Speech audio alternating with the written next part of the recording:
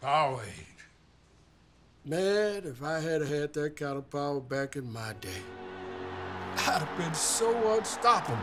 They'd have made a movie about me. Would have had everything. Action, suspense, and the greatest ending of all